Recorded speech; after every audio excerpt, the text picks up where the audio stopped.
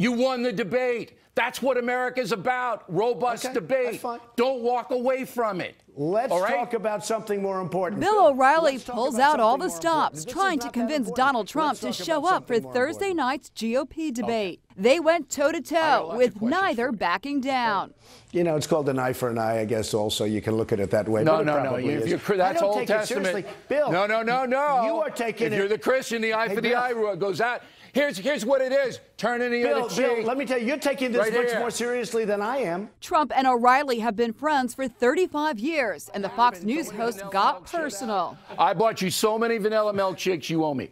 Will That's you true. just consider? I want you to consider. All right? Think about it. Say, look, I might come back. Forgive, go forward, answer the questions, look out for the folks. Just want you to consider it. You owe me milkshakes. I'll take them off the Right. ledger if you consider it.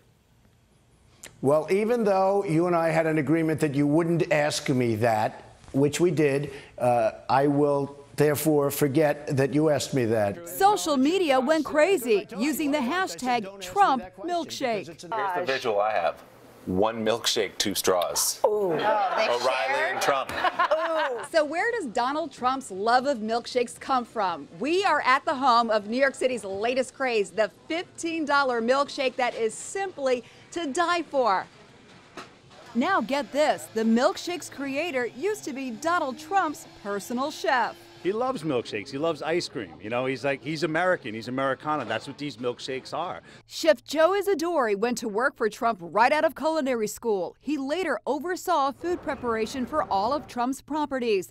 Now Isidori owns his own place, Black Tap, where folks line up around the block for his milkshake creations. I worked for Donald for a long time, and I can tell you, milkshake or not, his favorite flavor is cherry vanilla. Despite O'Reilly's milkshake appeal, Trump is standing firm about boycotting the debate because of his ongoing feud with moderator Megyn Kelly. He even retweeted these photos of Kelly with the caption, criticizes Trump for objectifying women, poses like this in GQ magazine.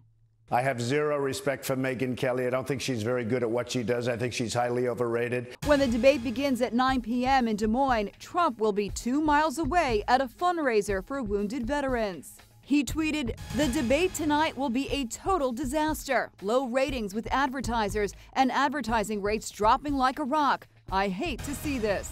Political pundits are weighing in on whether Trump's decision will help or hurt his campaign. Everybody that opposes Donald thinks it was a bad idea. Everybody that supports Donald thinks it was a good idea. This is the highest stakes war he has started, and I'm not sure it's one he's going to win in the end. But if milkshakes don't change Donald Trump's mind, nothing will. You owe me fe- your 17 milkshakes then, and I want them. That's okay. Oh my gosh, that is so good.